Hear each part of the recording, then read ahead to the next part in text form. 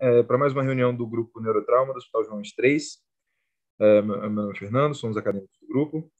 É, para quem está acompanhando aí no YouTube e ainda não segue nosso canal, já aproveita a oportunidade para seguir, para se inscrever e acompanhar uh, nas nossas redes sociais também, para estar tá sempre por dentro da, das reuniões.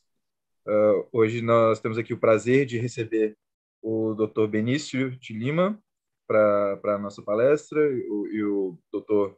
José Aloísio como moderador. E uh, estamos aqui também com o Dr. Jorge Paranhos e a nossa coordenadora, a doutora Kélia Rejane, que vai fazer a, a introdução do tema e da palestra hoje. Doutora? É, muito obrigada, Fernando. Hoje é uma noite extremamente especial e eu estou aqui me controlando para não é, para conseguir falar e não me emocionar demais, porque ah, o Tibenice significa muito para mim significa não só muito para mim, mas para todos os residentes que tiveram é, a, a, oportunidade de, de serem treinados por ele no Hospital de Base em Brasília. E eu posso dizer com segurança que tudo que eu sei de pediátrica eu devo a ele.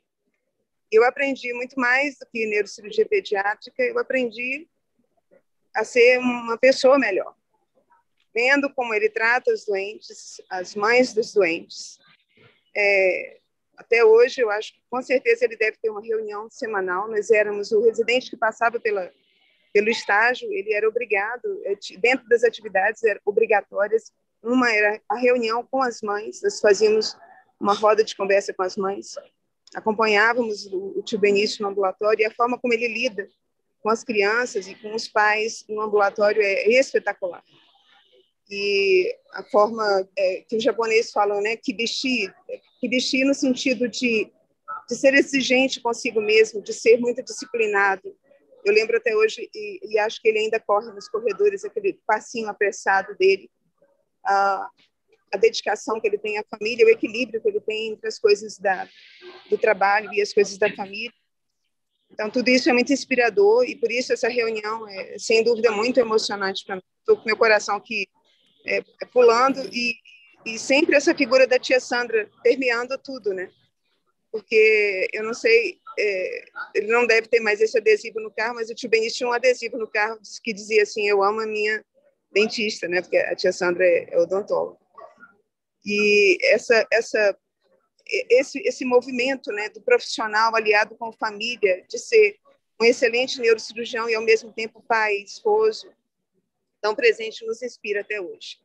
O doutor José Luiz, eu, eu, eu, tenho assim a oportunidade de ter comido assim uns 300 gramas de sal com ele e como eu admiro, como ele é disciplinado e, e tem também uma vida fora da medicina que também é extremamente inspiradora e como eu admiro a forma como ele lida com a, com a neurocirurgia de uma forma tão tão especial, tão tão excelente.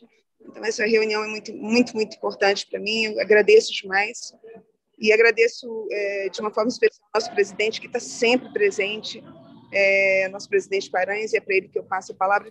Perdão por ter me demorado, mas eu realmente precisava falar cada palavra dessa. Com certeza que nós teremos uma reunião excelente. Muito obrigada mais uma vez. E Paranhos, por favor. Boa noite a todos, a família Neurocirurgia Mineira. Benício é meu amigo de muitos anos, muitos e muitos anos. É, ele recebeu uma homenagem ano passado, eu fiz questão de postar para ele todas as fotos que eu tinha da família dele, ele com a família inteira. A comunidade Benício Alton de Lima, eram quase 20, de todas as idades, até bebezinhos, e emocionou muito quando eu fiz isso.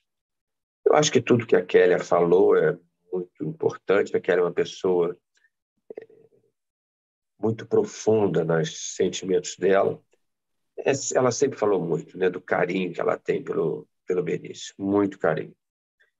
O, o, o Zé Luísio é uma figura ímpar da neurocirurgia brasileira e eu sempre vejo o Zé Luísio como uma pessoa que tem a, a facilidade de pensar nos outros, de, de ajudar todo mundo. E por isso ele é um vitorioso, né? Papai do Céu olha muito para essas pessoas que têm preocupação com o próximo. É, antes de eu passar a palavra para o Benício e para o Zé Luísio, eu queria só fortalecer uma coisa que a Kelly falou, um grande professor meu da França, de neurocirurgia pediátrica, quando fui lá fazer um estágio com ele que o Virgílio mandou, e lá eu entendi o que, que o Virgílio queria que eu aprendesse. Eu, tinha, eu, tenho, eu não gosto de neurocirurgia pediátrica, eu não gosto de operar criança. Por que, que o Virgílio mandou para lá? Porque o Virgílio tinha na cabeça que qualquer neurocirurgião aprender a lidar com o paciente, com a família, ele tinha que chegar perto de um neurocirurgião pediátrico, que vocês são os deuses desse relacionamento. Vocês são os deuses de entender o sofrimento do paciente e a importância de se entender a família do paciente, né, do pediatra. Então, o Vigílio me mandou para Lyon para isso, para mim aprender com o cara, com o colega lá, o que, que era o respeito ao paciente, o que, que era o respeito à família. Eu entendi direitinho o recado do Vigílio quando voltei de lá.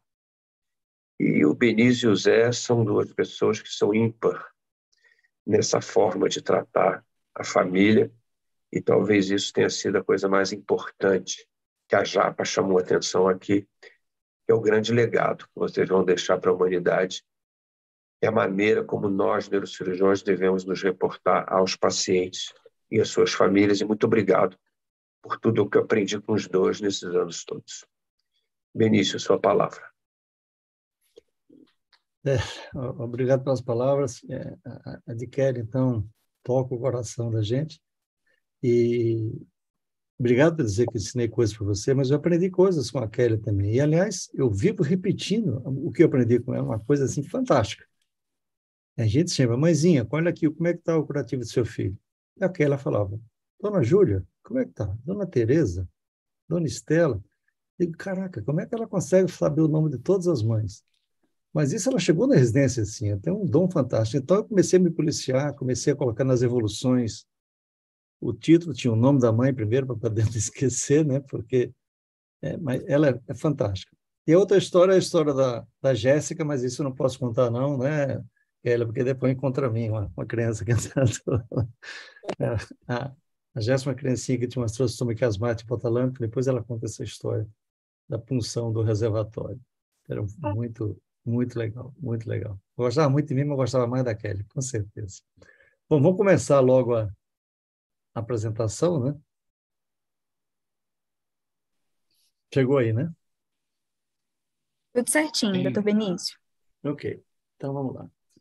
Então, é, eu até tinha feito um título menos pomposo, mais humilde, até ela, até me ajudou a colocar essa, essa colocação. Papel da neurocirurgia na observação dos craniópolis, e essa foto aí é a foto dos craniópolis aqui de Brasília. É, Inicialmente, vamos saber o que, que acontece quando se tem é, capacidade gêmeos, né? Então, quando a, a separação se dá, ah, no, nós somos ainda mórula, realmente nós temos gêmeos que são dicoriônicos, diamnióticos. Quando está o blastocisto, já são monocoriônicos e diamnióticos. Aí já pode acontecer algum problema. É, quando na, o, o já está implantado, aí é um córneo só. E às vezes acontece mais alguns problemas. E depois que a separação se dá depois que forma o disco embriônico, é que aparecem os, os gêmeos siameses. Então, os gêmeos siameses, eles são unidos por alguma parte do corpo e, eventualmente, são unidos por órgãos também. Pode compartilhar fígado, ter um rim único, né, um intestino único, um aparelho excretor único. E é comum é, eles terem malformações associadas, que dificultam muito a separação. A frequência depende do a gente vai ler a frequência do aparecimento dos, dos gêmeos siameses. Vai de 1 para 75 mil a 1 para 200 mil. Alguma coisa entre isso que são as publicações. Os craniópsis é 2% deles, então é 1 para 3 milhões ou 1 para 10 milhões de nascimentos. Imagina só a dificuldade, se é, é difícil cuidar de, de gêmeos separados, imagine os gêmeos que estão unidos. Eles dormem em momentos diferentes, eles querem, estão em fome em um momento diferente, um faz xixi e o outro não, vai acordar, é, é, é, complicado. E os cuidados unidos pela cabeça, às vezes tem que cuidar da respiração, um pode ficar gripado, outro não, é muito difícil. A separação, então, os desafios são muito maiores. Mas, em relação ao, aos craniópicos, as craniópicos que apareceram em Brasília, Liz e Amel, isso começou em 2018. recebi com esse WhatsApp da Daniela, que é uma excelente médica e faz medicina de alto risco no Hospital de Brasília. Que ela já colocou assim no começo de 2018, já começamos o ano com casos complicados. Logicamente, como eu geralmente eu sempre mando uma piadinha, já falei, manda a bomba. E a bomba que ela mandou é isso daí. Né? Então, essas são as imagens que eu fui apresentado para essas imagens, já tinha uh, pensado em opções de interrupção da gestação, eu disse, não, não vamos interromper, vamos conversar com a família. É, e esses são essas imagens fantásticas das duas crianças unidas pela cabeça no filmezinho do ultrassom. É um dos primeiros, os mais precoces casos de, de diagnóstico intrauterino de gêmeos cranianos. É, dez semanas de gestação quando foi feito esse diagnóstico. Então, a partir daí, da próxima ultrassonografia, eu já estava presente para conversar com os familiares.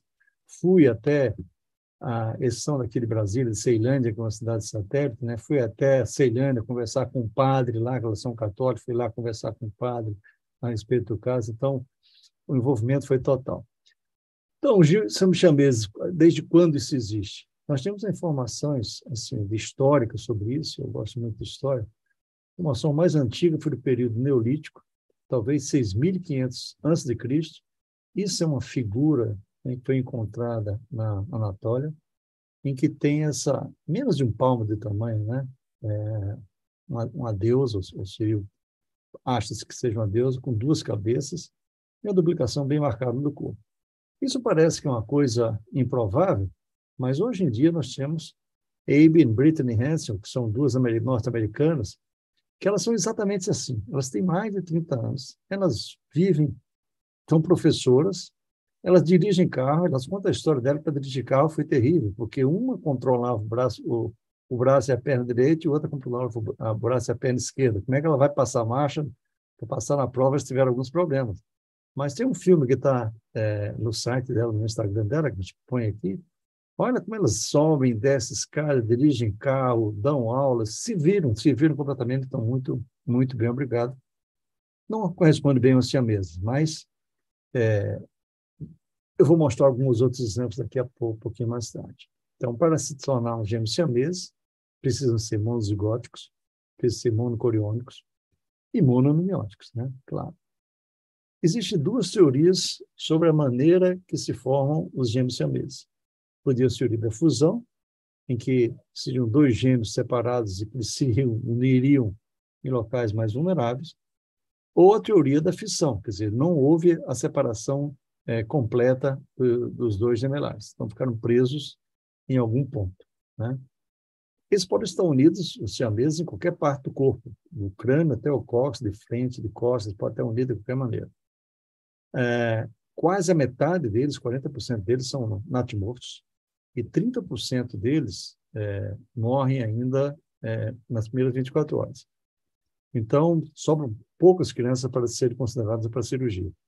Considerando que das que sobrevivem, algumas têm algumas malformações muito graves, reduz um, um risco maior. Considerando que às vezes elas nascem em locais do planeta onde não tem acesso a serviços de saúde, menos crianças. A frequência de meninas para meninos é de 3 para 1. Essa aqui é uma figura é, dos anos 1100, do século XII, de duas mulheres, ou pelo menos duas adolescentes, que estão, pelo menos parece que estão sobrevividas, sobreviveram ah, até perto da idade adulta, sendo craniópatas. Isso aqui a gente vê hoje em dia também. Então, isso aqui são dois exemplos também é, de crianças, uma é, da Holanda é, e, e outras, essa da Filipinas, são essas que estão fazendo aniversário aqui. Essas da Filipinas estão em campanha para conseguir dinheiro para fazer a separação. Então, é, mas existem realmente no globo, as pessoas podem sobreviver e ter uma vida inteligente. As duas conversam, conversam assim normalmente, são pessoas que aparentemente são inteiramente normais. E a pergunta que vem é por que, que esses, essas crianças são chamadas de siameses? Então, a história é uma história até interessante. Aquele que eu falei antes, eu gosto de ler história, é, é gostoso ver história. Então, esses irmãos, Shang, Yang Bunker, esse nome Bunker eles tiveram quando foram para os Estados Unidos. Nasceram no Sião, que hoje em dia é a Tailândia, em 1811. E quando eles eram adolescentes, um norte-americano passou e olhou e viu a oportunidade de ganhar dinheiro. expondo essas crianças né, como uma, uma coisa estranha, né, que é chamada de freak show, que existia nos Estados Unidos antigamente, e fez um contrato, talvez seja uma questão de terem sido vendidos pela mãe, um contrato de cinco anos, e foram levados para os Estados Unidos. Então, nos Estados Unidos, eles foram expostos em circos, em salões, em teatros, tudo mais. Eles chamavam médicos famosos da região para testar que aquilo não era não era embuste, que eles eram realmente é, era real, que eles estavam unidos. E eles começaram a rodar os Estados Unidos é, é, ganhando dinheiro. Quando eles foram chegar à maioridade dele, com 21 anos de idade, o contrato expirou. Então, eles passaram, eles mesmos, a continuar com esses shows e ganhar dinheiro. E eles ganharam dinheiro, bastante dinheiro com essas exposições, as pessoas pagavam para vê-los, e eles chegaram a ganhar cidadania norte-americana, que era difícil, né, para o pessoal, um asiático ganhar cidadania americana. Eles se casaram com duas irmãs norte-americanas, e o que é incrível, eles tiveram é, 21 filhos, cada um deles. O casamento era feito assim, fizeram duas casas, tiveram, eles tinham escravos, tinham uma fazenda de algodão, tudo mais, Passava três dias na casa de um, três dias na casa de outro, três dias na casa de um, e assim foi sucessivamente, um casamento que durou muitos anos. Tanto assim, como eu disse, eles tiveram, cada, eles tiveram um teve é, dez filhos, e outro tiveram onze filhos. E algumas vezes, alguns médicos fizeram a proposição de separá-los. Mas como era muito risco, imagina nos anos 1800 fazer uma separação, seria uma coisa de risco, eles não aceitaram, mas combinaram de quando um, é, algum deles morresse, o outro iria realmente autorizar a separação. E um desses, desses gêmeos siameses, o Cheng, ele bebia, ele tinha doença cardíaca, e o outro não, né? o outro era mais certinho. Então, esse Cheng morreu com 63 anos de idade, e, e aí ele chamou o médico para separar. Mas a demora do, do, do médico chegá-los, ou talvez por outra razão, duas horas depois, ele também morreu. Quer dizer, ele estava bem de saúde, quando o irmão morreu, duas horas depois ele morreu. E ficaram o nome do gêmeo siamês. E como é que se separa esses gêmeos siameses? Né? A primeira tentativa de separação, que é conhecida, foi feita perto do ano 1000 em Constantinopla, exatamente depois da morte de um dos gêmeos siameses. Foi tentada a separação, mas o outro gêmeo morreu três dias após. E isso, é, até hoje, nos dias de hoje, quando são feitas tentativas de separação de emergência, porque um dos, dos gemelares passou mal, os resultados realmente não são bons até hoje em dia. A primeira separação com sucesso, realmente, que é uma coisa fantástica, aconteceu no ano 1689. E esse eram os siameses que foram separados. Eles estavam unidos por, é, pelo abdômen. Ele conseguiu fazer uma separação e os, e os gemelares sobreviveram. Em relação aos craniópolis, era impossível, sempre foi impossível a separação. As tentativas de separação dos craniópolis sempre nenhuma deu certo até o primeiro sucesso parcial em 1952, que ocorreu em Chicago, Grossman Sugar. É, de novo, como eu disse, quem gosta de história, esse trabalho ele é aberto, né? É open access. Ele, o cara conta em detalhes como é que foi a cirurgia. É uma coisa fantástica, porque primeira investigação em 1952, ele fez arteriografia nas crianças. Para fazer arteriografia, foi dissecção de carótida para poder funcionar as carotas e fazer arteriografia. E o exame de imagem que tinha, não tinha tomografia, não tinha ressonância, não tinha PET, não tinha ultrassom, foi pneumoencefalografia. Ele realizou pneumoencefalografia e arteriografia. É o que ele tinha na ocasião, em 1952. É, e a partir dele partiu para a cirurgia. Na cirurgia, ele, foi, ele encontrou um seio dural circunferencial que era compartilhado pelas duas crianças. Então, ele optou para ligar as veias tributárias desse seio de um dos pacientes. Quer dizer, um dos gemelares iria, ele tentou, pelo menos, dividir o seio é, em dois, não conseguiu, porque sangrava para burro, né? É lógico, imagina dividir um seio. Então, ele foi ligou as veias de um dos lados, e, e o outro, um gemelar, ficou com, esse, com o seio dural, um circular, e o outro ficou sem, só com a ligação da, a ligadura das veias. É lógico que isso deu edema cerebral, edema cerebral, trombose venosa, e, esse, é, esse gêmeo não acordou e ele faleceu 34 dias depois. O que sobreviveu, mesmo assim, fez infarto venoso, fez hemorragia cerebral. Imagine, em 1952, nem as válvulas eram, existiam. Ele fez uma cirurgia de Torkildsen, que é a derivação ventrículo cisternar para tentar controlar. Depois apareceram as válvulas.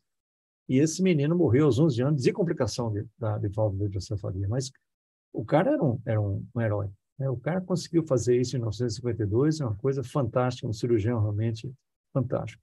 A partir daí, alguns outros tentaram. Né? A tentativa de se seguir nos próximos 25 anos, algumas com sucesso parcial, outras sem sucesso. Então, muitos eram considerados inoperáveis, um sentimento que persiste até hoje. Realmente, a, a mudança é, da, da, visão de separação do craniócito mudou nos anos 1970 para cá. Por que os riscos existem? Os riscos existem pela hemorragia intraoperatória maciça, que matou muitos desses meninos na cirurgia ou no pós-operatório, a possibilidade de edema cerebral, também por ligadura de veias, né? veias tributárias de seios, você liga para poder separá-los, essa veia está drenando alguma coisa, vai dar um inchaço no cérebro, com certeza. Infartos venosos. Edema, aí vem também o outro problema dos flaps cutâneos. Imagina um crânio unido por outro, falta um pedaço de pele muito grande. Então, haveria edema, necrose cutânea, infecção, decência. Alguns dessas crianças têm descrições que foram colocadas com lama de a, em cima do cérebro, lama de alumínio estéreo. A gente tem que ler essas, essas, essas publicações dos anos 1950, é fantástico. Né? Nossa, nossa, como é que as pessoas faziam medicina, os caras realmente os pioneiros. Né? Mas é claro, o pioneiro tem que se fazer alguma coisa.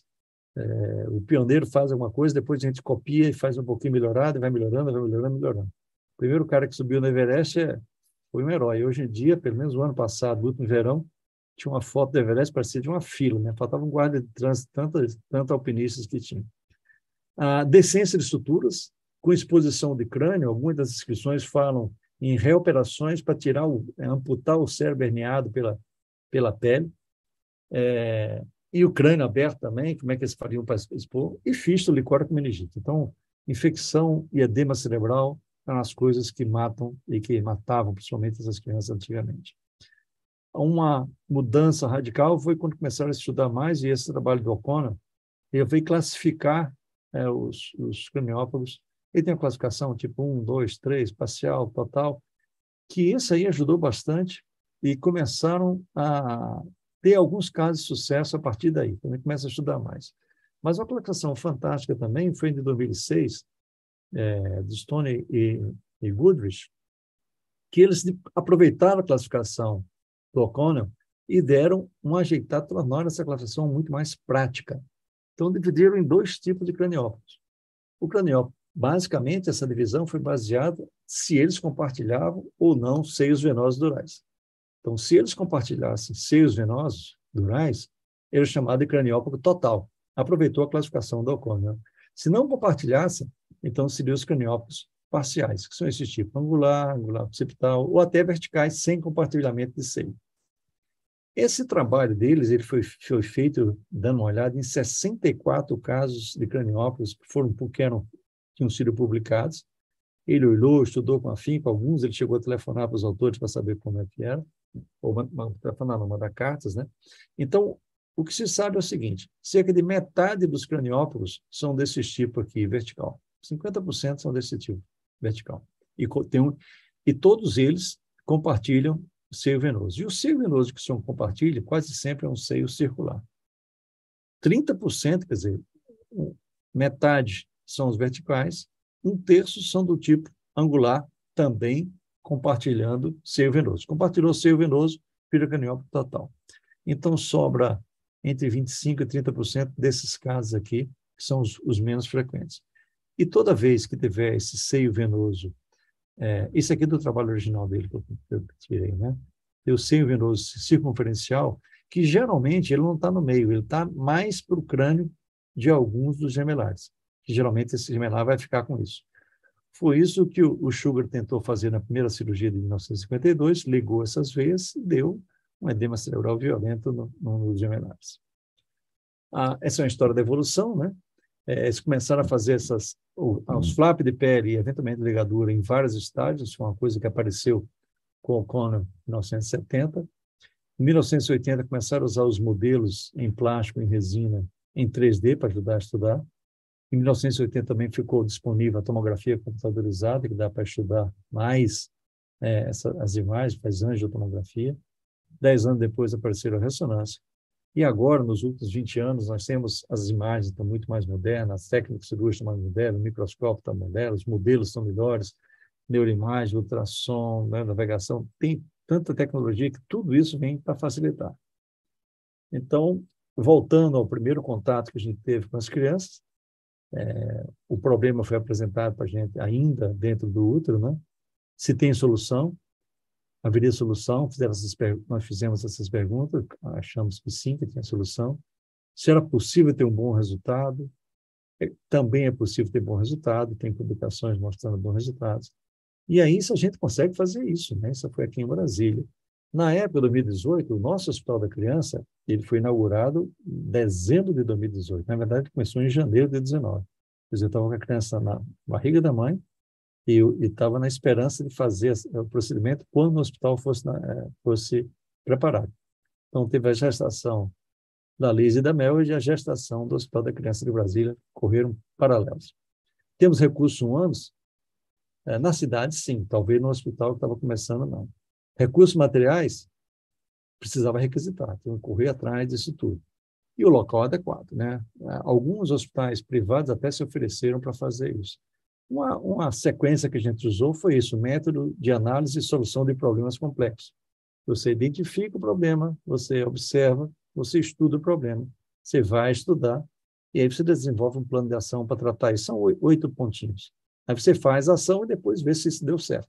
Se deu certo, beleza. Se não der certo, você volta, corrige começa tudo de novo. Mas é uma coisa só de sequenciar, de, de vamos dizer assim, classificar e de ordenar o nosso pensamento.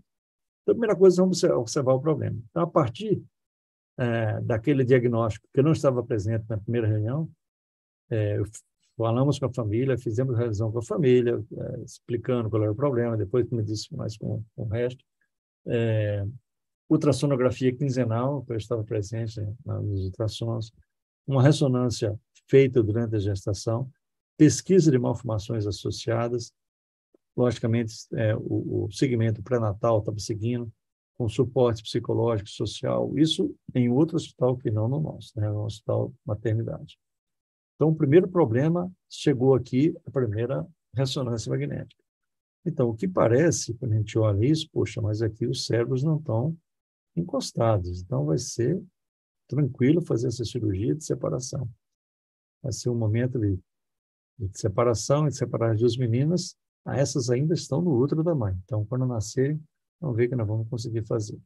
E é lógico, é, a gente tem que pegar informações. Se eu vou estudar o problema, além de ler a respeito, vamos pegar figuras que é, sabe o seu problema, que trabalha o seu problema. E, na ocasião, o, o Jim Goodrich, eu trabalhava em Nova York, é, faleceu infelizmente de Covid, é um cara que tinha mais publicações a respeito sobre o tema.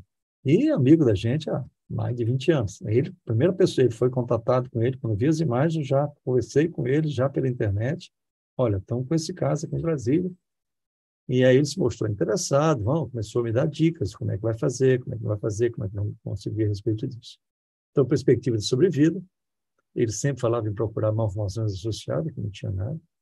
As perspectivas do tratamento, onde seria feito o tratamento, se nós disporíamos de recursos materiais, recursos humanos, e se fazia, se faria cirurgia em um ou vários estágios. Ele sempre foi é, preconizador de cirurgia em vários estágios, ele desenvolveu isso também, né, ele, junto com a, com a carreira médica, médica dele, fazia cirurgia em vários estágios. E a qualidade de vida que se esperava desses meninos.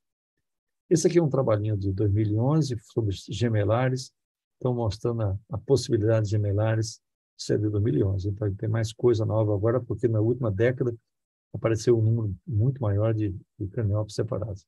Então, a possibilidade de ter gêmeos seria 1 para 80, gêmeos siameses 1 para 75 e os gêmeos é, craniópsis 1 para 2 milhões e meio. E, ao mesmo tempo que aconteceu, as crianças de Brasília ainda estavam dentro do útero, ah, em Ribeirão Preto, eles estavam fazendo a separação de craniópolis unidas é, no, é, pelo vértex do crânio. São craniópolis verticais. A cirurgia lá foi feita em quatro estágios. Então, além de eu estudar no papel, nós fomos estudar em loco. Eu fui até Ribeirão, está aí a foto do Dr. Hélio Rubens, o Goodrich que ia também para todas as reuniões, sempre ia na véspera, porque tinha um briefing na véspera, o Ricardo e o Marcelo Volpon, do time lá da, da, da neurocirurgia é, do Hospital da Criança de, de Ribeirão. Então, eu fui lá assistir, vi como é que era, e, logicamente, vamos adaptar o que, que nós temos aqui para fazer semelhante em Brasília, é, para aprender, para realmente fazer um aprendizado. Isso é um aprendizado prático também, eu tive, tivemos até a sorte de ter isso, né? Quer dizer, veio de começar. É, o primeiro plano de ação, então, era o parto. O parto seria um parto cesariano, o mais eletivo possível. É, é casos, como eu disse antes, quando são feitas interrupções é, de emergência, o risco de morte é um risco bastante grande. O suporte multidisciplinar, conversamos com o pessoal do Hospital Materno Infantil aqui, o HMIB, é, da neonatologia, anestesiologia, cirurgia pediátrica e, logicamente, nós da neurocirurgia, sobre o momento do parto, inclusive com plano de ação alternativo em caso de morte de índice de menores, porque o, esse hospital maternidade não teria condições de suportar uma cirurgia de separação, mesmo assim, de emergencial. E o que aconteceu foi que os meninos nasceram, as meninas nasceram de emergência, né? Então, o trabalho de parto é hoje, é hoje à tarde, parei tudo que estava fazendo, corri para lá para ver o que estava acontecendo. O time da obstetrícia era o time realmente que estava preparado e estava já tinha estudado o caso, já tinha decidido que ia fazer o, o, parto. Ah, o anestesista não, foi anestesista de plantão. Ah, o neonatologista, realmente, já tinha alguma informação sobre o caso, não tinha é, falado com ele pessoalmente, mas ele já estava sabendo, então isso até nos ajudou. Mas, é, e, logicamente, telefonei para os plantonistas da Solivaz, olha, não pede cirurgia agora não, porque se acontecer alguma coisa, estou correndo para aí para fazer uma, uma, cirurgia excepcional. Mas correu tudo bem, é, e aí está o, o, parto das crianças, as crianças devem ser um parto cesárea, nasceram muitíssimo bem, eu, como eu disse, eu corri lá para acompanhar também, se tivesse alguma coisa do ponto de vista neurocirúrgico, certamente não teve nada, as meninas nasceram, choraram logo que nasceu. Foi um, foi uma, um momento assim bem, bem assim até emocionante. E aí, na, no momento da assistência, esse tubo que vocês estão vendo aqui não tá, não foi intubação não, foi um tubo que chegou só até o faringe da dando oxigênio para ela, porque realmente ia ser muito difícil entubar as meninas tão juntas que elas estavam, né? Então, mas elas estavam respirando, chorando de maneira natural, normal, pesaram em conjunto 3,770, que é um peso bom para crianças que são é, prematuras, no entanto, 34 semanas, mas estavam muito bem. E aí vamos fazer a verificação. Quer dizer, já teve a ação do parto, correu tudo bem nesse primeiro momento. A equipe disciplinar teve alguns furos, né? Porque foi de emergência. No final, as pessoas estão preparadas para fazer isso. A, a, o pessoal da obstetrícia veio, a neurocirurgia veio, mas a, a, a, anestesia, por exemplo, não veio.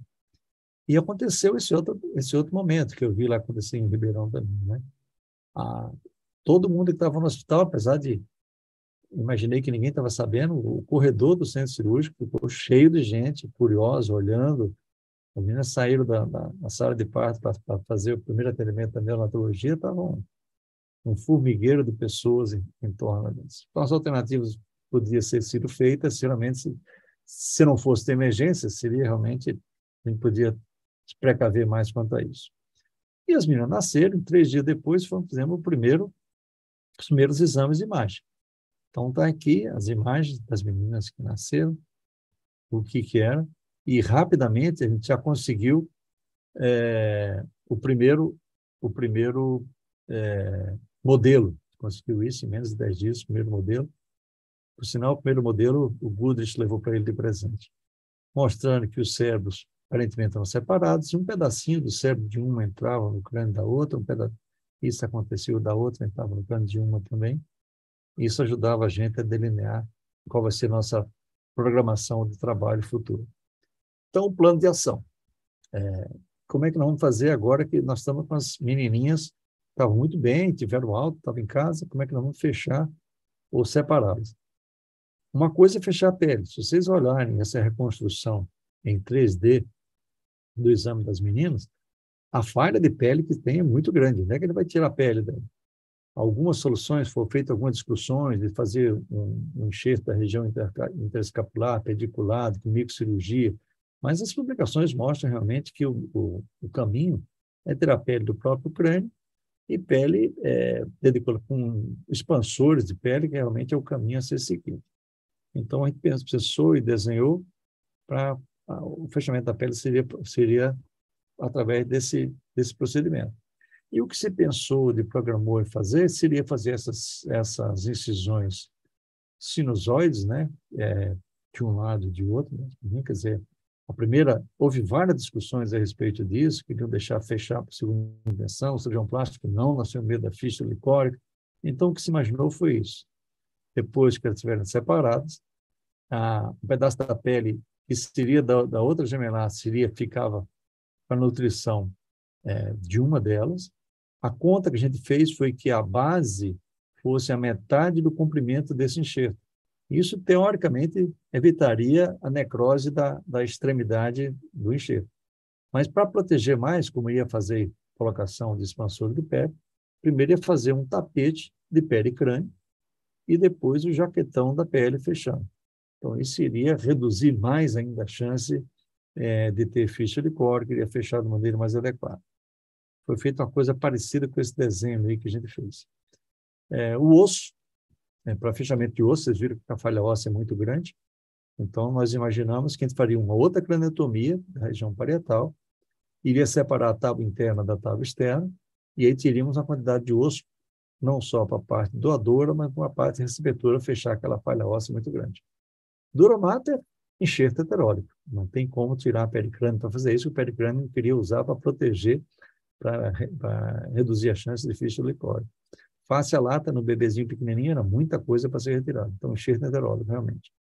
O cérebro, a separação do cérebro, pelas ressonâncias, na primeira ressonância intraútero estavam bem separados. Nas seguintes, parecia que tinha alguma interdigitação. E provavelmente um estava dentro da, um pedaço de cérebro de um estava dentro da caixa craniana da outra. Era possível que teria que tivesse cortado. E as veias, fazia venografia, fez venografia com ressonância e não tinha nenhuma veia é, calibrosa, né? não tinha nenhum seio venoso. Então, o plano de ação envolvia realmente um trabalho em equipe com cooperação, sempre houve cooperação, sempre conversava, ouvia a opinião de todos. A dedicação foi extrema, o negócio realmente foi muito emocionante, porque todo mundo que chegava estava extremamente dedicado. O planejamento foi feito, refeito, trifeito. Estudamos técnicas, variamos a técnica que queria fazer, treinamos junto com o pessoal da enfermagem e sempre com otimismo, né?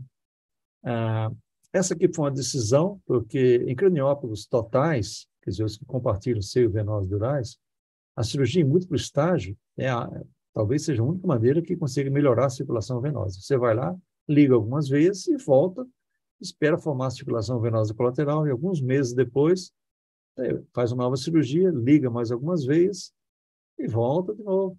É, há risco de é, é veias é, que são compartilhadas restantes alargarem, mas na maior parte das vezes elas vão realmente criando as circulações colaterais. É, isso diminui o edema cerebral, reduz o risco de infarto venoso, mas sempre esse risco está presente nos craniópatos totais. No caso de Brasília, nós não tínhamos, as crianças não tinham compartilhamento de drenagem venosa, a cirurgia foi programada em um estágio. É, as vantagens disso aí seriam porque as descrições que tem prévia das cirurgias feitas em múltiplo estágio é que a pele, que é operada e reoperada, operada e reoperada, às vezes corre o risco de fazer decência, de ter infecção. Então, a gente falou, não, se a gente fizer de uma vez só, a gente reduz essas possibilidades de ter isso. E por isso que a gente foi realmente fazer de uma vez só. Então, o plano cirúrgico foi, número um, expansor de pele, e número dois, separação, duas cirurgias. As imagens foram feitas sempre sob sedação. Nós tivemos vários modelos em 3D que foram feitos aqui em Brasília mesmo, e foi feita a confirmação que não tem compartilhamento venoso dural. Para ver que o seio sagital de uma passa longe do seio da outra. As consultas foram feitas consultas multidisciplinares com as meninas. Nós chegávamos, sabia que o já recebia, alguém do hospital recebia, já levava dentro de uma sala especial. Tinha até um, um, suco de laranja, um pão de queijo lá para a gente, né? Um dia a gente não tem mais isso. Um planejamento especial com anestesia, extremamente importante, né? a fisioterapia, mais importante, a plástica, a neurocirurgia. Essas são realmente os, os carros-chefes da, da, da, da, do time. de novo, cooperação. Cooperação foi muito grande. Essa foi a foto de uma das visitas é, multidisciplinares, em que tem assistente social, psicóloga, fisioterapeuta, neurocirurgiões, relógio, cirurgia plástica, anestesia, nutricionista, está todo mundo lá para cuidar das meninas. E as meninas, e também uma coisa que toda vez que chegava, o cirurgião plástico desenhava, marcava na pele como é que ia ser feita a incisão. Na, na, visita seguinte, ele fazia uma, uma, uma, marcação diferente, porque a gente ia discutir diferente como é que ia ser. Os exames de imagem foram feitos no nosso, nosso próprio hospital, tomografia sob sedação. Nesse momento também foi um momento de testar se elas compartilhavam circulação, se injetava adrenalina nenhuma, olhava se alterava adrenalina, tatropina nenhuma, olhava se havia modificação na frequência cardíaca da outra. Então, é, dois, dois monitores, dois anestesistas, as, os familiares, a mãe e a avó assistindo na, na salinha do lado, todo o movimento que estava conversando, ah, o que estava acontecendo. A ressonância magnética exigia, exigiu mais uma programação especial, porque se as meninas precisavam ser sedadas, eu preciso de dois carrinhos compatíveis com ressonância magnética no mesmo hospital. Ninguém tem isso. Então, o que a gente conseguiu foi no hospital da rede privada. É, o cara não marcou ressonância em um dos hospitais no dia, no dia de domingo. Então, no dia de domingo, ele trouxe o carrinho da anestesia de um dos hospitais da rede, quer dizer, o hospital tinha duas dois aparelhos de ressonância magnética. No dia domingo, ele fechou a ressonância de um do lado, levou para lá, é, foi feita intubação com auxílio da, da cirurgia torácica, que estava lá também, que não era do nosso hospital, a cirurgia torácica foi lá também, a gente pedia de conseguir. Foi feito os exames de ressonância ah, magnética nesse, nessa, nessa maneira, um dia domingo, tudo especial. As meninas é, do SUS, elas são da Ceilândia, é, ficaram na UTI desse hospital privado é, para recuperação da anestesia. E tudo isso, o pessoal, como eu disse, tudo cooperando. Né? Gente, eu, eu levava, ainda bem que tem um trânsito bom com esse pessoal, e o que emociona o pessoal, eu levava os modelos 3D, ajudavam para isso. Levava o modelo, olha o que eu tenho aqui. O meu problema é esse, eu estou no hospital do SUS e preciso fazer uma assinatura, eu não tenho dois carrinhos, nem pagando uma clínica privada eu consigo. Mas o cara, não, vamos fazer isso de domingo. Pá, pô, pô, pô, marcou no domingo seguinte, foi tudo realizado. Olha só que fantástico. Aquilo, como eu disse, né, tem umas partes do cérebro que estão interdigitadas e talvez umas pequenas partes fundidas. É isso que a gente viu também. E aí vem essas coisas, como obter recursos. Né? É, eu estava no hospital que estava, como eu disse, em, em formação, iniciando. O hospital realmente se mostrou, é, a direção do hospital, sensível a fazer isso. Equipamentos, equipamentos que não tinha, mas eu fui pedir às empresas. A Meditrônica colocou dois craniotos mais lá para atender, insumos. A, a, Johnson colocou placas absorvíveis, assim, uma quantidade grande, levou para Jovem. Eles levavam tudo, cotanoides especiais. Pessoal, o pessoal da sua da criança na época não era treinado, mas veio gente de fora, uma boa. Veio gente me agradecer, quase chorando, dizendo: Pô, gente, muito bem que você me deixou participar disso. A, a cooperação realmente foi fantástica. Então, é, tem uma frase legal é, do Christopher Lloyd, os sonhos primeiro parecem possíveis, depois parecem prováveis, daqui a pouco esses sonhos se tornam inevitáveis. Vocês o conhecem, que é o, o Dr. Emmett Brown, né, de Volta para o Futuro, e fez também, falar em tio, né, o tio Fester, da família Adams. essa é uma, uma frase muito legal. Então, o momento, continuamos a cirurgia, nós temos que colocar os expansores de pele, mas se eu coloco o expansor de pele numa criança muito nova, ele vai mais é, comprimir o crânio do que expandir a pele. Então, o momento de expansão de pele, esperando chegar a criança ficar mais velha, após os seis meses, o desenho das incisões, de novo, anestesia, posicionamento, como ia ser feito intubação, auxílio da cirurgia torácica, a cambalhota para fazer dos dois lados. Mais reuniões. E a gente ia, são reuniões à noite, que nós fomos ao hospital, um hospital que tem cirurgia plástica, para discutir esses casos, cheio de modelo do lado meu computador, acho que todo mundo conhece, né, que é do Iron Man aqui na capa. E esse é um dos modelos que eu entreguei para o cirurgião plástico, e assim como ele me entregou no dia seguinte, como ele tinha feito a marcação, riscou todo o modelo. Aí eu falei, não, cirurgia plástica é muito fácil, é só cortar onde está marcado e está tudo resolvido, está tudo feito. Ah, precisamos sempre de ajuda de outras, de outras, outras especialidades, nutrição, não ter nenhum problema, fisioterapia, trabalhou muito para aumentar o ângulo pra, entre os, os dois crânios para facilitar a intubação, e funcionou realmente, e com suporte de psicologia e da assistência social. De novo, mais reuniões por dia da expansão na perna, fizemos reuniões noturnas, treinamos como é que ia ser feita a cambalhota à noite lá no, no, no, hospital, e vinha o pessoal da enfermagem. Essas cirurgias foram feitas é, aos sábados. E no dia, uma coisa que nós inauguramos lá também foi colocar é, uma com a cor amarela, outra com a cor, cor de rosa. Então, a Mel ficou amarela e a Liz ficou em cor de rosa.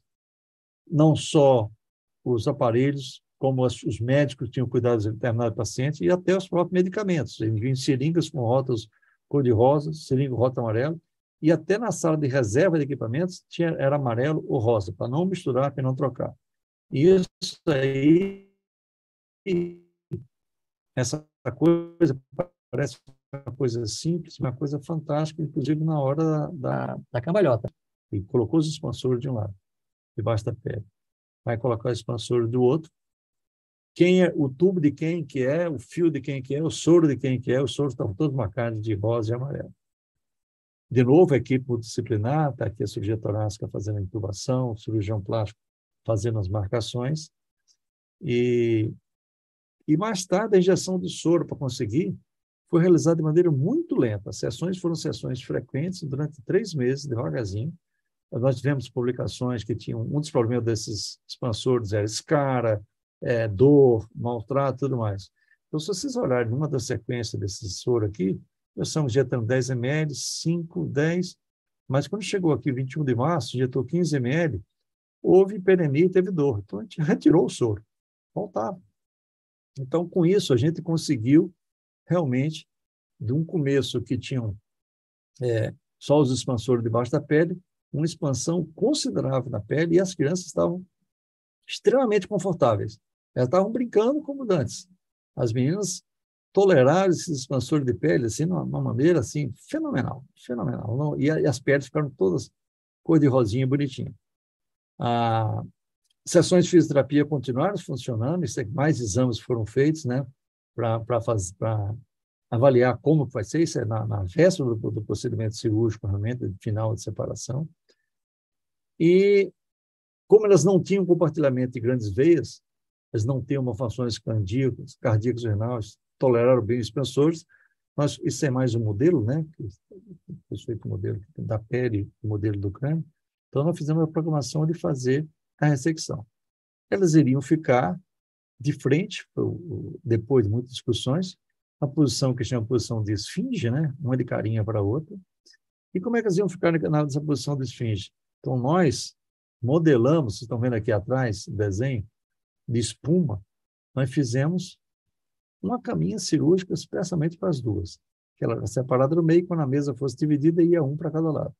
A cama está sendo desenhada fabricada, aqui depois de fabricada, com suporte, e mais reuniões. Ah, o planejamento foi uma coisa demorada. E o ensaio, é, à noite, na, na antivéspera da cirurgia, com todo, todo o time. O Goodrich esteve aqui de novo, né, amigaço, né? adora a caipirinha, acho que ele vem ao Brasil só para tomar caipirinha, é, discutindo sobre como, era, como sempre foi de uma, uma ajuda fantástica. Ah, na véspera da cirurgia, de novo, foram remarcadas à noite. É, o LM, que é porque é da Liz e da Mel, o nome das duas crianças. E isso foi uma coisa que a gente deixou pronta e ficou afixada na porta cirúrgica. Programação da cirurgia, vai começar de seis da manhã e terminar às duas da manhã do dia seguinte. Então, o primeiro momento era as cores azul para anestesia, amarela para cirurgia torácica e rosa para CIP. E a neurocirurgia em verde. Então, a neurocirurgia começaria, porque um dos problemas que nós vimos que poderia matar é a fístula licórica. Então, nós começamos com drenagem lombar externa, antes de começar a cirurgia. Depois, anestesia, cirurgia plástica iria fazer os retalhos. Nós, está aqui a posição que as meninas ficaram, né? como a, a cirurgia plástica começou o procedimento deles. É, Todos foram identificados no peito com, dessa vez nós estávamos com gorro, né? Na segunda vez com um gorro rosa e amarelo, para Liz Manel. E tinha uma placa fixada, um cartaz fixado para saber que, momento de cirurgia estava acontecendo. Então, toda a equipe seguiu o que foi fixado para ele. Então, foi a gente seguir a regra. A craniotomia começa às duas horas da tarde, fizemos a craniotomia, e numa sala ao lado nós já deixamos pronta para a cirurgia plástica separada estava interna da estava externa. Nós prosseguimos com a separação do cérebro, né, a abertura da dura máter, a separação final. É, e no final, não conseguimos fazer às sete e meia. Na verdade, foi às nove horas que a gente conseguiu fazer a separação das duas crianças. E, e depois entrou de novo a cirurgia plástica. Depois que fez, fechou, fez o fechamento da dura máter com enxerto, a cirurgia plástica entrou, só que a pele estava um pouquinho muito fina, as placas e parafusos não foram utilizados, usaram só fios. Então, isso foi tudo jogado. Isso é uma, um aspecto, é uma foto microscópio, nós começamos a fazer a dissecção, nós tivemos que amputar um pedaço do cérebro aqui, isso aqui deu para abrir, mas isso aqui não deu para abrir, tem uma parte que teve que fazer secção. Né? E, continuando, o final da cirurgia seria às duas e meia da manhã. Foi basicamente isso que aconteceu. Né? Enquanto estavam lá, está vendo aqui, eu e o Márcio fazendo a separação é, da parte cerebral. Na sala ao lado estavam os cirurgiões plásticos separando a tábua interna da tábua externa. Então, assim, quando acabasse, o sistema já estava tudo pronto, tudo preparado. E uma coisa que realmente ajudou bastante a gente, eu queria, botamos um telão na sala ao lado, que tinha cafezinho, suco, comidinha, e aquelas pessoas que ficam... Primeiro, limitamos a entrada de muitas pessoas, mesmo assim enche o centro cirúrgico. Mas para não ficar ninguém na sala, ficava nessa sala, que, como disse, tinha cafezinho, tinha lanche. O Adorno trouxe uma máquina, um café que ele planta né, aqui em Brasília, um café, então, meu é café arábica, não tem café robusto, é muito agradável realmente. E esse é uma foto, uma imagem é, significativa disso aí. Quando gente estava fazendo o fechamento da dura mater, nem parece estar fazendo a cirurgia de separação das craniotas, né? Elas estavam numa mesa só, separamos, então foi um para o lado, outro para o outro, um time para o lado, outro para o outro, mas, além dos anestesistas, do fotógrafo, do instrumentador, poucas pessoas na sala, quase ninguém na sala. Então, nós conseguimos eliminar muito isso. Esse é um aspecto final, né? Os enxertos foram colocados, é, e o aspecto final da sutura, aparentemente tudo muito bem.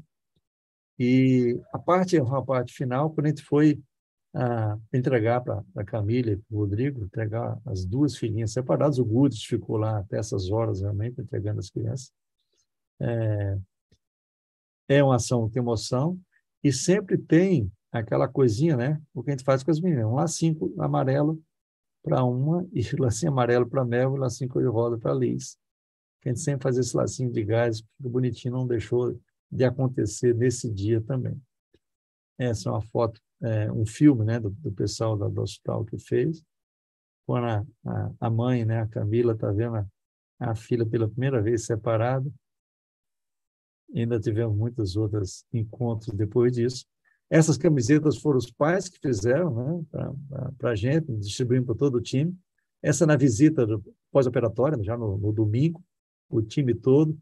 A, que vocês estão vendo aqui o Farina também, que veio de Ribeirão Preto, muito gentil, que veio de Ribeirão Preto, o cirurgião plástico lá, que acompanhou o caso também, sempre a, toda, toda ajuda é bem-vinda, tudo, tudo é muito bem-vindo. E dali nós saímos, pelo amor de Deus, para tomar um, vinho que ninguém de ferro, vamos comemorar no dia seguinte. E essa comemoração, é, como eles voltavam em horário diferente, cada um saía do meio da festa, a gente ficou lá até o, até o último visitante nos abandonar. Uma relação que teve com a mídia, isso é uma coisa importante. É, nós não formamos a mídia, foi, foi, muito mais tranquilo trabalhar, mas logo após a relação da cirurgia, é, foi avisada, a vida foi convocada, foi informado, isso foi muito foi fundamental esse, esse, esse, esse apoio da equipe de comunicação do Hospital de Base, do, desculpe, do Hospital da Criança. E o time, apesar de eu estar lá, eu estava mais coordenando, essas pessoas todas, todas, todas, todas, eu conversei com elas pessoalmente pedindo alguma coisa, todos eles foram extremamente importantes, sem eles ia ficar é, capenga a nossa cirurgia. E o pessoal também das empresas, as empresas também colaboraram é, sem, sem investimentos, foi tudo é, por vontade de, de, de cooperação, de ajudar realmente, é, medicamentos, insumos, tudo isso eles conseguiram. Esse é o pós-operatório, já é imediato. A, a, drenagem lombar externa da, da Liz, ela, 24 horas que ela levantou e soltou. E mais houve necrose realmente da ponta do, é, dos enxertos. Então, houve necessidade de fazer debridamento, curativos, Isso foi uma coisa que aconteceu. Talvez alguma coisa do detalhe, mas não, não, não houve ficha de código em nenhum momento, não houve nenhum comprometimento né, das crianças. Essas são imagens, é, uma pós-operatória imediata e outra feita um ano após é, o procedimento, mostrando a área de do, doadora do enxerto, você põe fragmentos menores, mas é onde fica melhor. E a área receptora, porque a dura mata é uma dura mata, não é autóloga, né? é heteróloga. Né? É, um, é, uma faixa de, de colágeno, então o osso não pega muito bem. Mas esse é o resultado e as meninas continuam, esse é o resultado. Já passaram o primeiro aniversário delas, passaram ainda no hospital.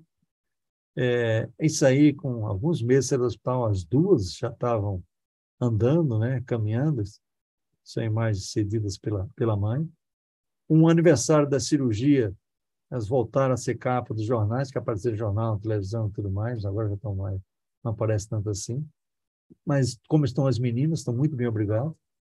Então, vamos final as conclusões, qual é o nosso grande aprendizado? A cooperação foi fundamental, a cooperação das equipes, e, todo mundo tentou cooperar, isso era fantástico. Ah, todo o time estava aberto a ideias de todos. Alguém falava, discutia, mas não, não houve nenhuma briga. E todos estavam felizes, né? Nós procuramos diferentes e experientes opiniões. As é, pessoas que já fizeram isso realmente ajudaram bastante. Nós tivemos suporte da comunidade, suporte hospital, suporte da empresa. Tem essa foto aqui que eu acho extremamente emocionante, eu, eu fiquei sabendo só depois. O pessoal de apoio do hospital fazendo orações na porta do, da, da, sala de cirurgia. Isso é, é muito legal, muito legal. Isso aí é quebrar as pernas da gente, amolecer o coração. E aí está o resultado das duas menininhas, como elas estão agora, esse é agora, esse é, acho que é a foto do ano passado. Essa é a foto desse ano. Elas foram rainha da pipoca na, na festa de São João da escola. Logicamente, eu tive que comprar pipoca. A Sandra, que a Sandra comprou também quer dizer, duas vezes pipoca para a gente. Essa aí, como elas estão no aniversário delas, olha como é que elas estão realmente pulando, pula-pula a festa de aniversário. Da, isso é a festa de, de aniversário, esse é o meu neto, tá? Esse não é. E as duas menininhas, nós estamos, fomos à festa e continua ainda.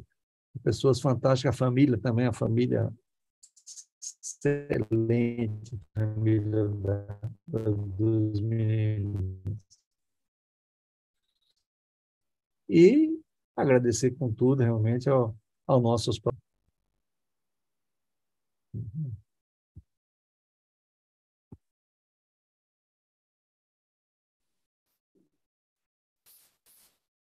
Professor Vinícius.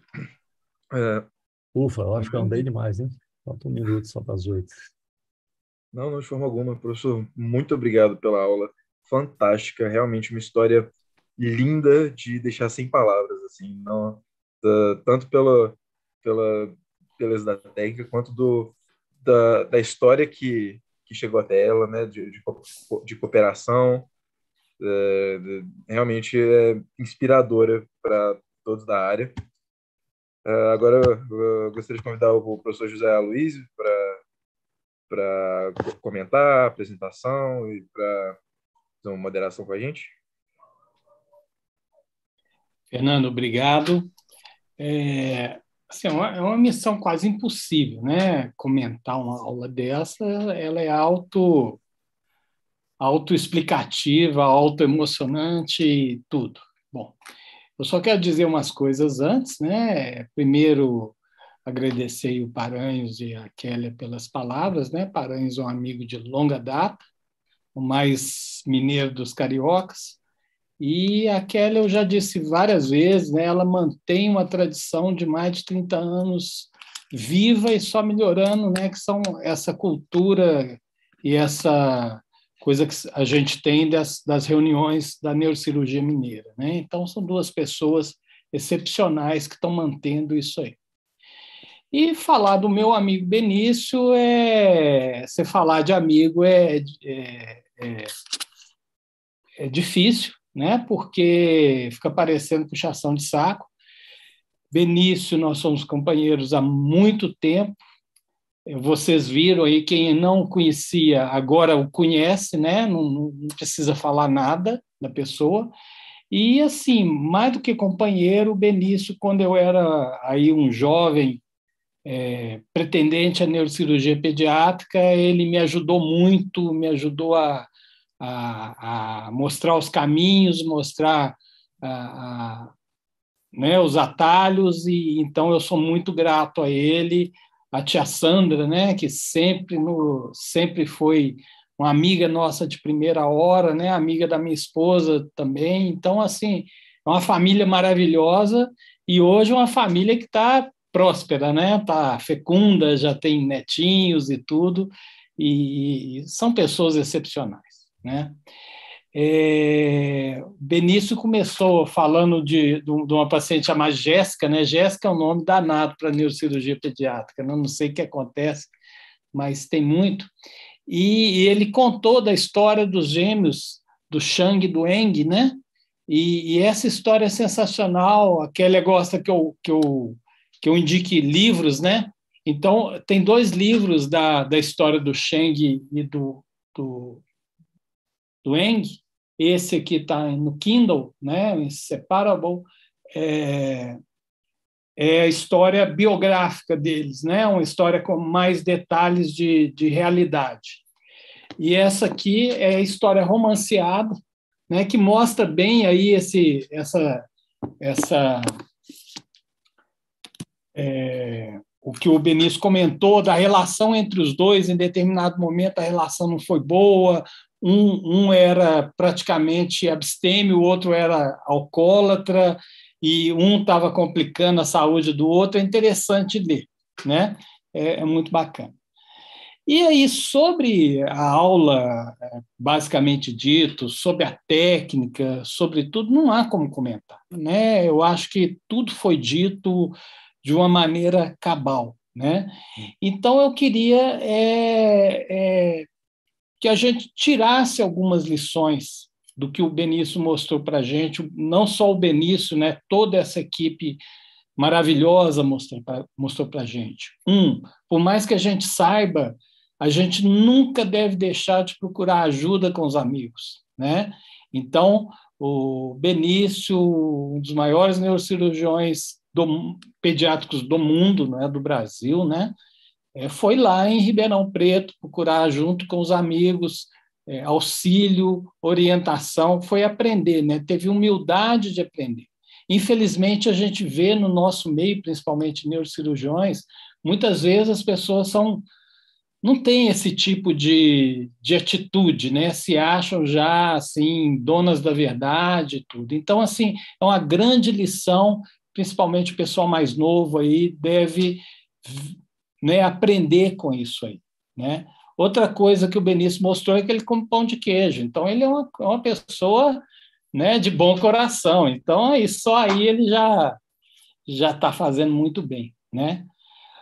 Outra, é, a gente tem que trabalhar em equipe, gente. Por mais que seja difícil, por mais que as nossas condições de trabalho sejam, por vezes, muito ruins, né? Mas sempre trabalhar em equipe. Trabalhar em equipe não é só ter o seu auxiliar ou trabalhar com outra pessoa, é tentar é, aglomerar ou conglomerar o maior número de pessoas que você conseguir entre as, é, circulante da sala, entre instrumentadora, enfermeira, pessoal de apoio, pessoal de farmácia, né? Às vezes um bom dia, um, um oi, como que você está, saber o nome da pessoa, né? Você vai chamando aquela pessoa para o seu lado e aquilo vai fazendo com que a, a, a cooperação ocorra de uma maneira melhor. Ao contrário, se você chega muito autoritário, né, muito exigindo as coisas, você cria inimigos automaticamente. E por vezes isso não é não é bom, né? É, o, o Benício mostrou aí, gente, assim, algumas vezes eu fico, eu pessoalmente fico um pouco chateado que a gente vê, às vezes, as crianças sendo tratadas por colegas, não na urgência, não quando não tem é, outra solução, mas, é, às vezes, sendo tratado é, patologias neurocirúrgicas em crianças graves em locais que não têm condição ou que não tem formação para tal. Desculpe eu estar falando isso aqui, mas a gente vê isso acontecer. o, Benício mostrou que neurocirurgia pediátrica é outra, é, é, enfim, é um outro mundo, né? A gente tem, tem que partilhar técnica, tem que partilhar é, carinho com os pais, tem que partilhar, tem que ter estrutura. Então, vamos pensar nisso. Quem quiser fazer neurocirurgia pediátrica, hoje a gente tem condição de ajudar muito, né? E, e, e pegar essa, essa mensagem aí do, do, do Benício. E, por fim, é, o Benício mostrou para a gente, ele pôs lá a, a, a, a, a frase do, do, do, do ator, né? mostrando sobre o sonho. Então, gente, sonho, o sonho vai acontecer, né? O sonho vai acontecer. Nós temos que fazer o sonho acontecer. E é muito mais é, transpiração que inspiração. Pensa se o Benício, a equipe do Benício, tivesse falado, nós vamos operar, e tivesse feito isso do nada. Nós temos o sonho e vamos operar. Tinha dado tudo errado. A gente não tinha visto aquelas imagens sensacionais das crianças pulando no pula-pula ou, ou, de Rainha da Pipoca. Mas o sonho que ele, eles construíram foi a partir de pequenos detalhes e grandes detalhes programados, né, feitos progressivamente, sequencialmente. Ele chamou em um plano de ação, né, o plano de ação do sonho. O sonho só chegou na frente porque teve muita inspiração, muita organização e muita é, dedicação para isso. Né? E, e, e com isso você chega no sonho. Isso vale para todos nós, nos locais que a gente trabalha, né? Às vezes a gente reclama, ah, o SUS não tem nada, mas a gente também não procura ter, né? Não procura o gestor, não procura economizar para o hospital, para o hospital economizar para a gente, não procura uma série de coisas. Então, nós vamos chegar no nosso sonho, sim, mas a gente tem que pegar essa lição que nos foi dada hoje e entender que o sonho a gente chegar a ter as criancinhas lá pulando pula-pula e rainha da pipoca partiu de muita coisa, muito, muita organização, muito detalhe, muita dedicação, muito fim de semana perdido, muita, é, muito dinheiro gasto do seu bolso, provavelmente, né, Benício? Muita investimento próprio nisso, né? E, e aí chega no sonho, gente. Então, é, vamos, vamos ter nossos sonhos, mas o sonho não é só sonhar, o sonho é fazer um plano de ação para que ele dê certo. Né? Benício, muito obrigado mais uma vez, assim sensacional a sua, a sua, né, o seu exemplo aí, a sua lição que você, mostrou para gente, né? E muito obrigado. E vamos tomar um vinho lá em Mendoza, porque você merece. Quero só duas coisas. Os fins de semana com as meninas não foram perdidos, acho que foram ganhos, viu? Que a gente aprendeu coisa para Dedel. E o dinheiro que eu gastei, Luiz, foi nenhum, foi tudo isso foi doado, foi doado. O pessoal deu uma comparação fantástica. Aliás, eu gastei dinheiro comprando vinho bom para o Goodrich, porque eu sei que ele é exigente. Mas, como eu bebi também, está em casa. É, tá bom. Beleza. Parabéns, Tim, pela maravilhosa aula. Parabéns ao doutor José Luiz pelas Excelentes colocações. Paranhos, quer fazer alguma colocação? O Kelly, você vê dois gigantes da indústria pediátrica falar que não tem mais nada para falar, e eu vou falar o quê? Né? Tio Benício deu uma aula de postura. Né? Eu, eu postei hoje no nosso grupo é, o vídeo que o, que o que o Mufarrez mandou para a gente, pessoal, né, da, dessa lida que ele passou nos últimos quatro anos com esse craniópagos que ele operou semana passada. Ele é uma pessoa muito simples, muito discreta, fez exatamente o que a Luiz falou. Ele foi procurar todas as pessoas que ele sabia que já tinha operado um craniópago.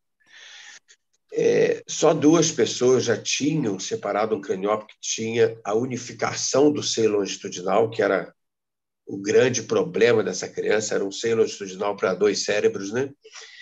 É, e fez exatamente o que o Benício falou, fez exatamente o que o Aloysio falou, dividiu essas honrarias todas com todo mundo que ele trouxe, até porque Ele precisava de duas equipes distintas para terminar a cirurgia, depois que separasse, como o Benício contou. E eu acho que é, eu não gostaria de aprender com neurocirurgia pediátrica, não, porque eu não tenho esse dom. Mas que eu gostaria de aprender com eles, a humanização que eles têm é fantástica. Né? A maneira como eles pensam no paciente, na família, é invejável. Isso é uma coisa, assim, é, quem nasceu para ser neurocirurgião geral nunca vai chegar neurocirurgião pediátrico, não tem jeito.